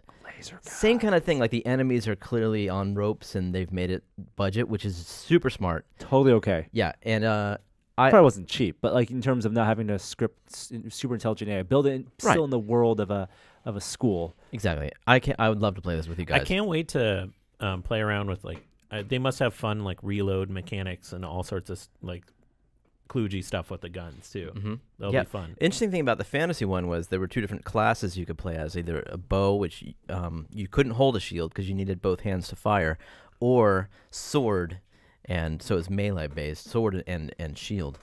I don't. Do those two classes exist in the sci-fi version? I don't even know, Right. but I, I would look forward to finding out. I bet you there's multiple weapons. Though. Yeah. And um, I think that's it for just some quick VR talk. We're we're going to be doing a bunch of VR demos uh, in the coming weeks, and we'll have that on on projections. Oh. you got to watch it there. Wait, can I ask about? Um, there's a projection episode that's been in my queue that I haven't watched about the haptics. Yes, the Dexmo. Yeah, you want to talk a little about that? Uh, we we uh, released that video. So Jeremy and I got a demo of a exoskeleton VR glove uh, that not only tracks fingers where your finger positions are, but also uh, gives you force feedback. Yeah, the tracking is strong. Like Mhm. that's really cool to see where your fingers are, not just in 3D space, but actually, but you know, relative to each other. This is really cool. Something that doesn't doesn't suffer from the exclu- occlusion that like the Magic Leap would. You can't have one hand in front of the other. This has no problem with that, and that's super cool.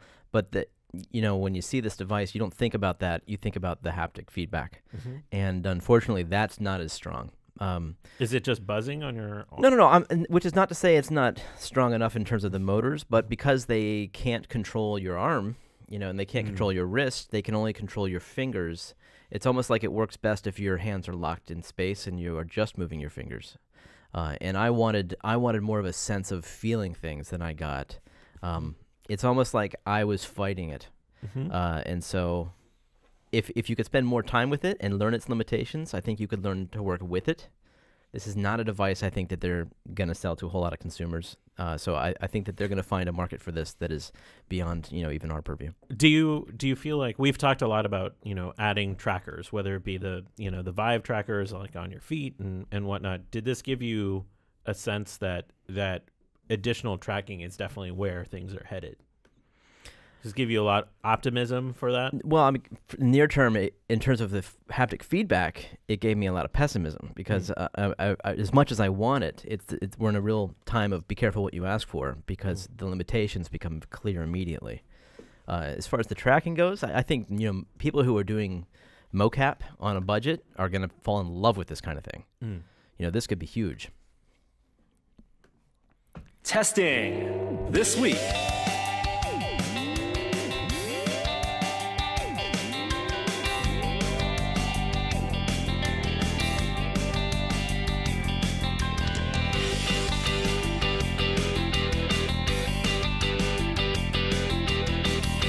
Hey, what have you guys been testing? I have an update. Oh yeah. Oh, good. So I've been watching. Uh, I've been using YouTube TV now for a while, and I my initial reaction was I loved it. Just the inter- user interface so much better.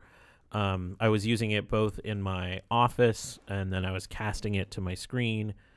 And now that I've had it for a week, like a couple weeks, I'm starting to sour on components of it. Hmm. And it goes back to something Norm said early on. I'm having some quality issues um, with it that it's not consti- uh, consistently always streaming at the level of quality I want.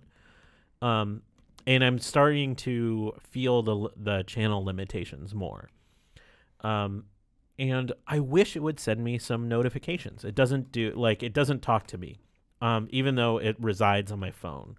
Um, I have to open the app for it to really um, give me any information about like what's in my library, what's what's recorded, all uh, what's coming up. Um, I feel like that could uh, change a little bit, but that quality piece is starting to bug me a little bit. Okay. What about the, the lack of stations? Does that bug you at all? I mean, it's it's hurt because right now is um, it's playoff time in both the NBA and NHL, Yeah. and the NBA uh, games here in the states are on the Turner family of networks, which are not included in the package. So, can't watch certain things that I was I was looking forward to seeing. Now, are you, do you think you're gonna keep it? I think I'm going to keep it for the for the near term. For it's it. 35 bucks. You're not paying any of the premium stuff. Part of me wants a because you do a ship to four people. Uh, Is- yeah, It's you can just watch a- three things at the same time. Like you can watch the same show, same live feed, three on three devices. But you can have um, five in your family that have access to it. but it's still three total among Yeah. that five. Uh, you're only, I assume, using it on one device at a time. pretty much, yeah, I would say let's find four people and share it yeah. Let's do it. because I, I don't mind paying the extra seven, eight, eight bucks, is it eight bucks a month uh, to get access to to live the interface and live TV and DVR. Actually, is, is a big thing because I don't pay for DVR right now on my phone. I think that's that's a not a bad idea. Yeah, I mean, it, it's interesting. Um, I've been trying it more in mobile settings, just away from the house, just watching TV on my phone, like on transit, other other situations like that. Uh, and that's where some of the quality stuff has bugged me. But having access to that on the go has been great, has been phenomenal. Yeah. Um, have you ever tried spoofing your location?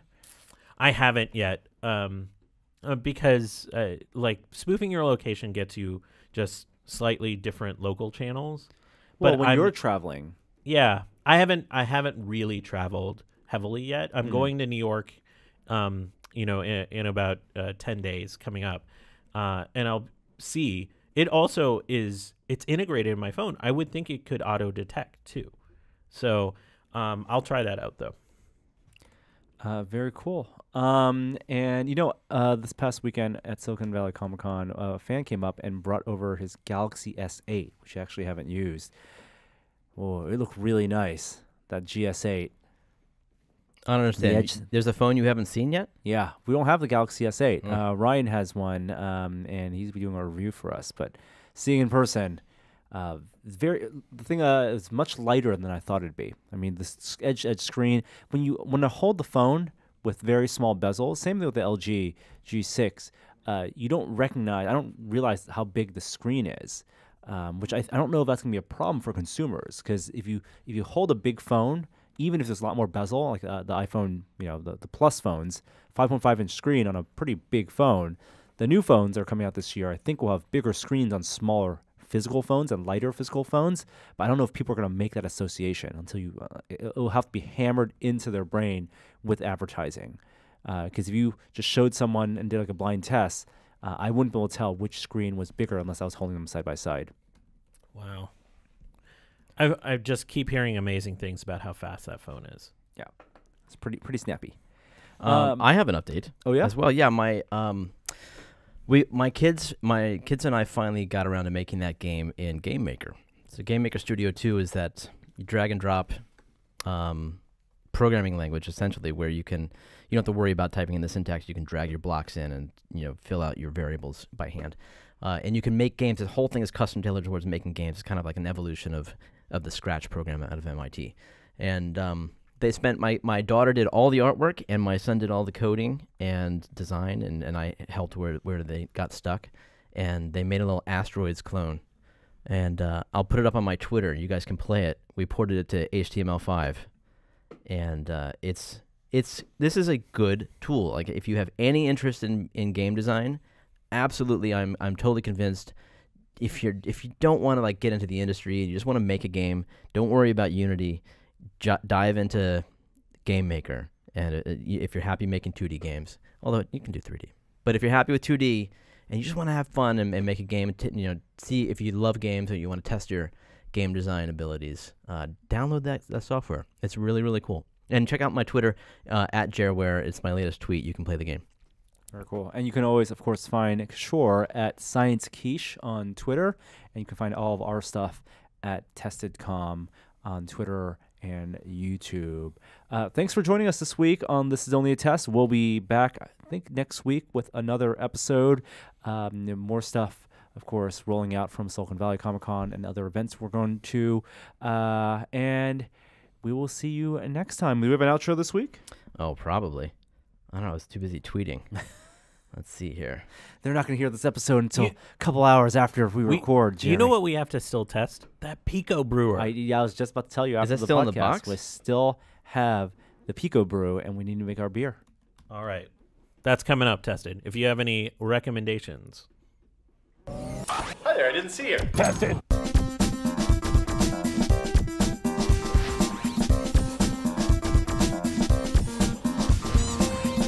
I haven't listened to this one, so I hope it's not super offensive, but it featured Cookie Monster.